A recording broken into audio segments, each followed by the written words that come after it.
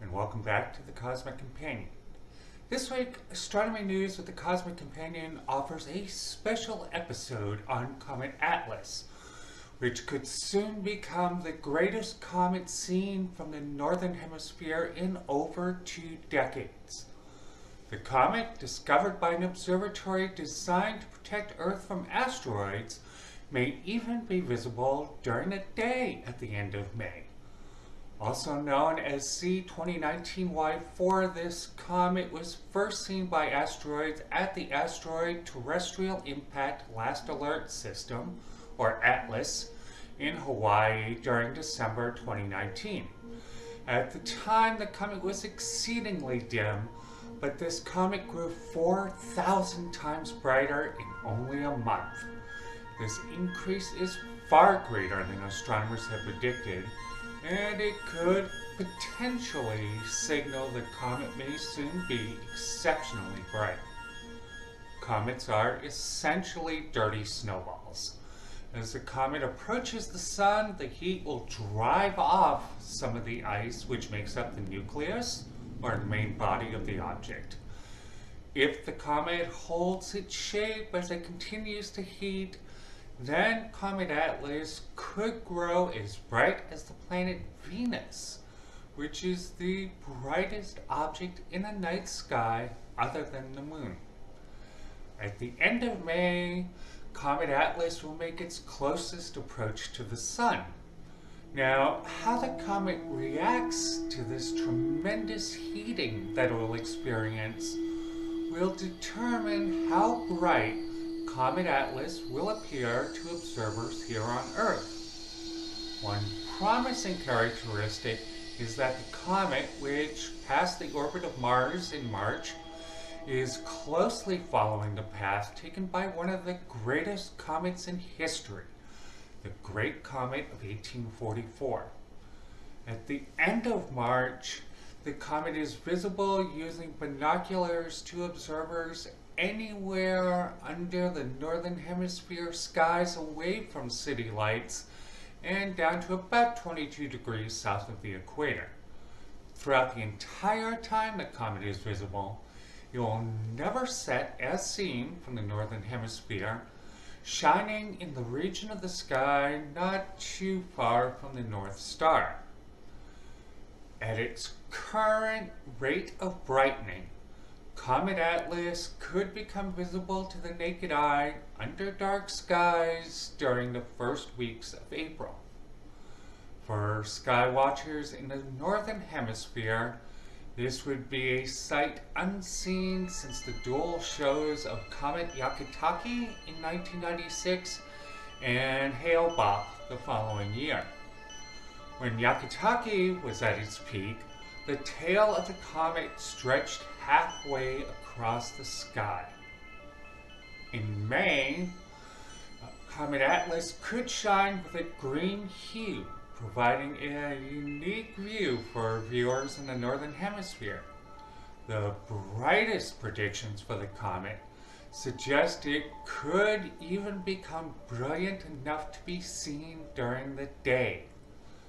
The peak brightness of Comet Atlas would depend largely on how much material is encased within its nucleus.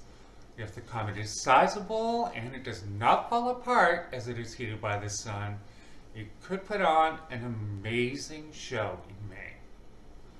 When it was first spotted on December 28th, the comet was 439 million kilometers or 273 million miles from the sun. At its closest approach, Comet Atlas will come within 37.8 million kilometers, or about 23.5 million miles, of our parent star. The comet is brightening at nearly an unprecedented rate, and by March 17th, it was already 600 times brighter than predicted. The path traveled by Comet Atlas, the same as that taken by the Great Comet of 1844, suggests that each of these bodies, and potentially others, may have broken off of an ancient megacomet long ago. The Great Comet of 1844 was first seen by observers at the Cape of Good Hope on December 18th of that year and was visible without the aid of a telescope through January 1845. Several comets astronomers thought were destined for greatness, however, failed to live up to their potential. In 2013, Comet Pan-STARRS became as bright as Sirius, the brightest star in the sky, but it was positioned low on the horizon as seen in the northern hemisphere, making it difficult for people to see. The last two bright comets, McNaught in 2007 and Lovejoy in 2011, were only visible from the southern hemisphere. In 1974, many astronomers believed that Comet Kohoutek would light up the night sky, but it failed to deliver. Similar expectations were dashed by comets Austin in 1990 and ISON in 2013 even if Comet Atlas fails to live up to its potential or shatters as it approaches the Sun, the display could still make for an interesting show.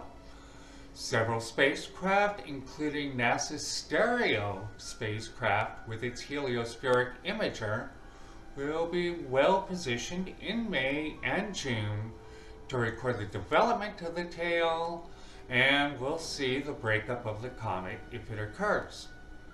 If Comet Atlas fails to live up to its potential, it will be a long time before we see it again. Once it heads back out to the outer solar system, it will not return for another 6,000 years.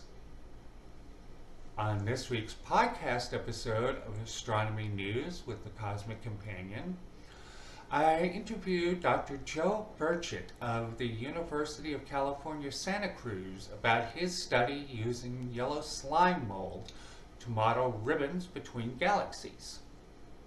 Here's a preview of that interview.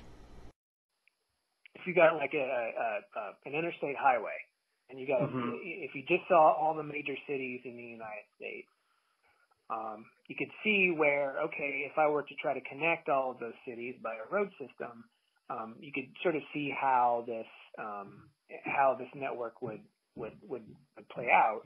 Um, but actually, actually taking all of the uh, taking all of those data and um, actually producing such a network, designing such a network is is not so straightforward.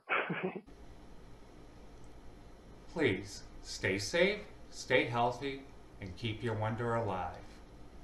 If you enjoyed this episode of The Cosmic Companion, please download and share the episode on YouTube or on any major podcast provider. We also have a new page for updates specifically about Comet Atlas at cometatlas.info. For more details on space and astronomy news, please visit the Cosmic Companion. Mm.